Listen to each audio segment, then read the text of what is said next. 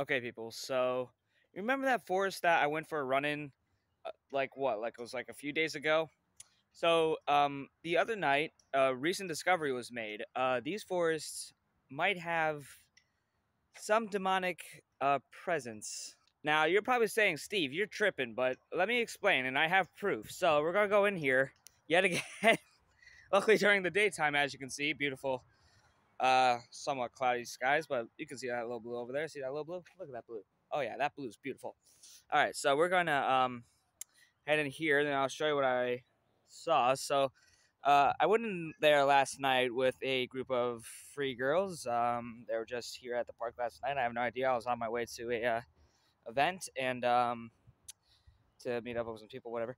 And uh, well, uh, they just uh, told me like this this forest they found like a uh, certain thing um, walking through it that night, and so uh, like a goofball, my curiosity sparked, and uh, well, uh, so I went in there with them, and well, what I found was kind of disturbing, but it could be like, hey, Steve, you're like a pussy, or it could be like, hey, Steve, that's freaking freaky, and you should get the fuck out of there. So you're gonna, you're about to see what I am experiencing. So these woods, I have no idea how long they were here, and I have no idea uh,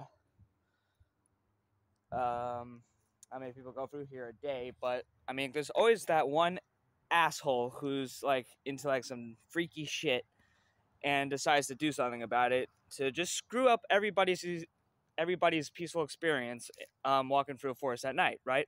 And I mean, at night, this place is not as bad because I mean, you know, you still have the trail, but it is a little freaky and um, it makes you uneasy.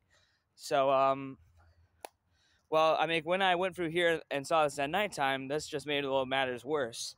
So I did have a flashlight because I am a nerd when it comes to me and flashlights, and it made it all like a horror game. I mean, the only sound you could pretty much hear was our, our breathing. But yeah, that's the forest. It goes a long freaking way, guys. It goes a long freaking way. I mean, you almost expect Slenderman to come out and be like, "What's up, bitch?"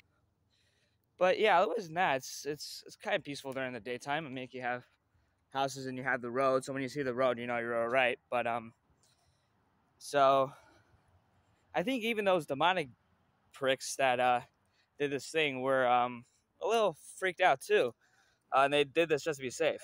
I mean, like, and the fact that when I was walking, like, last night with the three lovely girls that were there, um, not mean to be saying lovely, because, uh, well, yeah, I have a girlfriend. All right, so it was right about here somewhere. Up, yep, there it is. All right, let's get a little closer to that, guys. Okay, if you all know what that is, that is a pentagram. So I'm not going to step fully onto that site because I know some crap could actually get into me.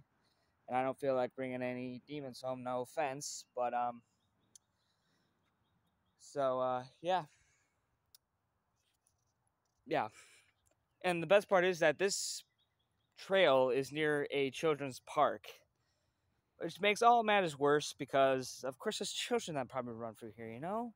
Oh, don't want any of those children becoming a little demon baby, don't we?